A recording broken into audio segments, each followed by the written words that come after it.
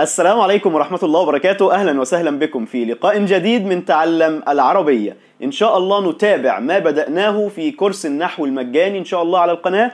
والنهاردة هندرس الجملة الإسمية. الجملة الإسمية سميت إسمية لأنها تبدأ باسم وبها ركنان أساسيان هما المبتدأ والخبر. اليوم هنعرف نحدد المبتدأ ونحدد الخبر إن شاء الله. قلنا يا حبايبي تاني أن الجملة الإسمية سميت إسمية لأنها تبدأ باسم. أهو الاسم اللي في البداية ده بنقول عليه مبتدأ. المبتدأ سمي أيضا مبتدأ لأننا نبدأ به الجملة في الغالب يعني. ففي المثال الأمام اللي أمامي الله واحد الله واحد. قبل ما أحدد نوع الجملة لازم أشوف أول كلمة في الجملة. أول كلمة دي اسم ولا فعل؟ الله لفظ الجلالة سبحانه وتعالى اسم.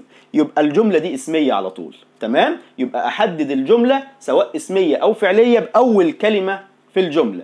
إذا كانت اسمية زي كده أحدد في دماغي إن الجملة الاسمية لها ركنان أساسيان هما المبتدأ والخبر. أبحث عن المبتدأ. أهو الاسم اللي في البداية مبتدأ على طول. يبقى الله مبتدأ. ولو لاحظت هتلاقيني حاطط عليه ضمة.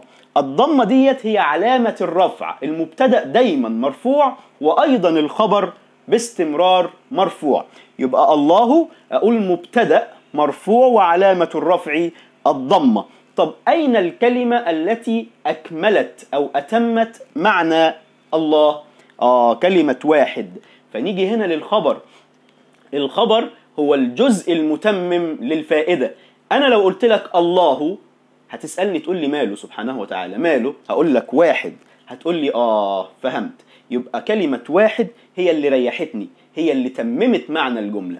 أهو اللي بيتمم معنى الجملة ده يا ولاد هو الخبر. هو الإيه؟ هو الخبر.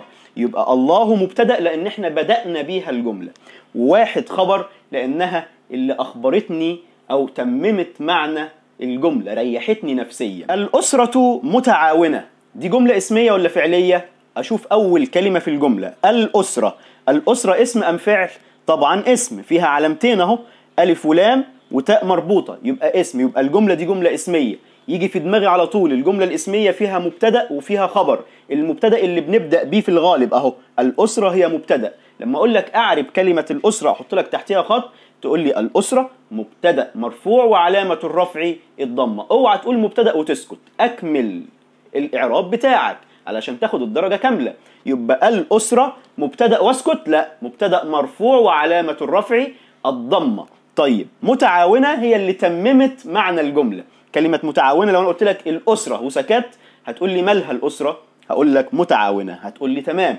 يبقى كلمة متعاونة هي الخبر لأنها هي آه تممت المعنى. تمام. الجملة اللي بعدها ركز فيها بقى. العلم طريق التقدم. جملة اسمية ولا فعلية؟ أول كلمة اسم يبقى جملة اسمية. يجي في دماغي مبتدأ وخبر. المبتدأ اللي بدأنا بيه العلم مبتدأ مرفوع وعلامة الرفع الضمة. العلم ماله؟ طريق التقدم. أي كلمة فيها هي الخبر يا جماعة. فين الكلمة اللي تممت المعنى؟ آه كلمة طريق. العلم طريق. الجملة انتهت. طب طريق إيه؟ طريق التقدم. طريق التقدم. يبقى كلمة طريق هي الخبر خلي بالك. لأن مش مش أي كلمة تبقى الخبر في الآخر وخلاص لا. الخبر هو اللي بيتمم المعنى. تبقى ممكن تبقى تاني كلمة ممكن تبقى الكلمة الثالثة الكلمة الرابعة ممكن تكون بعد سطر أو تاني سطر كمان الخبر. المهم الخبر هو اللي بيتمم معنى الجملة. طب لو قلت لك أعرب ما تحت خط كلمة طريق تقول لي آه خبر مرفوع وعلامة الرفع الضمة. يبقى المبتدأ مرفوع والخبر مرفوع باستمرار. يبقى زي ما قلنا يا حبايبي أن المبتدأ دايما مرفوع والخبر دايما مرفوع. مبتدأ مرفوع وعلامة الرفع الضمة والخبر مرفوع وعلامة الرفع الضمة. إذا كان طبعا مفرد وهناخد طبعا علامات إعراب المبتدأ والخبر في دروس قادمة إن شاء الله. دمتم بخير والسلام عليكم.